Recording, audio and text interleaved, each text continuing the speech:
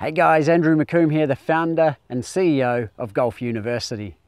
In this Golf University tip from the pro, I'm with David Milne, the two-time PGA Teacher of the Year and co-coach of the Indonesian team.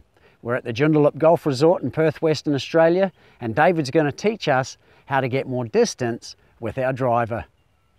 If you haven't watched video one or video two in this Driving Mastery series, you can watch them here and here. And before we start this video, and if you haven't done so already, I encourage you to subscribe and hit the bell icon below so that I can notify you every time a new episode is released.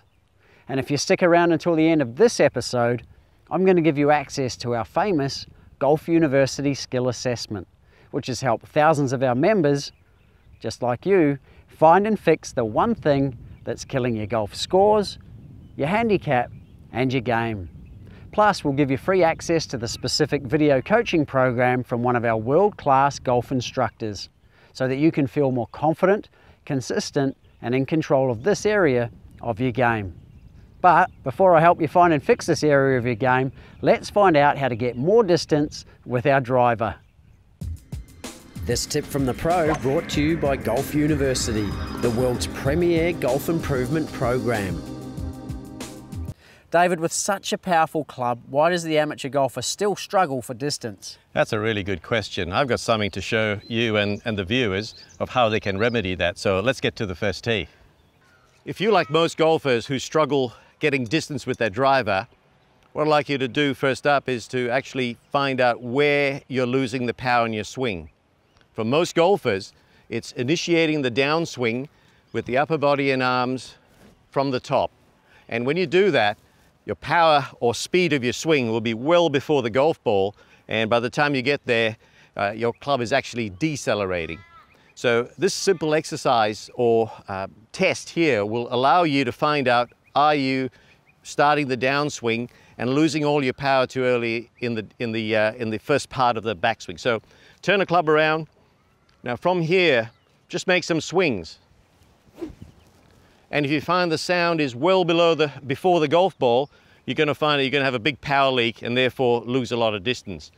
Now what I want you to do here is to now change that. Instead of starting it with your upper body and arms, let's see if we can get you to, before you get to the top of your backswing, just before, is to actually start the downswing with your lower body. So if you can learn to do that and allow your arms to be nice and soft, you will get the swish closer to the ball or even past it, right? So important to remember when you're doing this drill, here where the sound is, not there, it's well past the ball.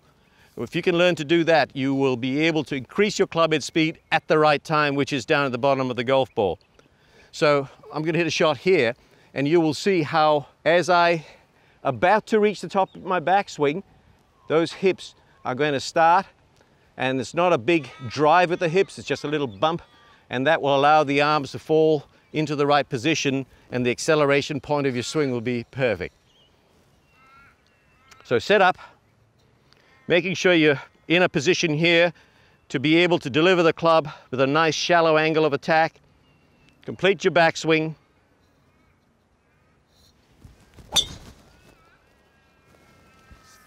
and if you can learn to do that, you are really going to be able to increase the distance of your driver for one simple reason is the speed of the swing and the club face squaring up is in the right place. Well, there it is. I hope you've enjoyed this Golf University tip from the pro. Put a yes in the comments below if you found it useful. Or ask a question in the comments if you need even more help. And, as promised earlier, we want to help you find and fix the one thing that's killing your golf scores, your handicap, and your game. So to access the Golf University Skill Assessment and free video coaching program, go to golfuniversity.tv forward slash golf skill assessment or click the link in the description below. And to help you feel even more confident, consistent and in control of your golf game, I also want to personally invite you to join our 19th hole clubhouse and golf channel. This is where our passionate and inspiring members belong to watch, learn, grow, meet and share inspiration as golfers. You can join the 19th hole for free at the 19thhole.club or click the link in the description below. As a member, you'll have access to hundreds of golf lessons, travel episodes, and documentaries. Plus, you'll get member only discounts on our golf schools, tournaments, travel, tours, and signature programs. And if you're a golf addict like myself, you can also join our members only Facebook group by clicking the link in the description below. And remember, if you've enjoyed this lesson, or you'd like to ask some questions, or maybe you've even got a suggestion for another episode, then leave a like and a comment below, and my coaches and I will do our best to answer them for you. And if you've got any golfing friends who'd benefit from this lesson, hit the share buttons below. And remember to hit the subscribe and the bell icon below too so that I can notify you every time a new episode is released. Thanks for watching, sharing and commenting guys. I'll see you in the 19th hole.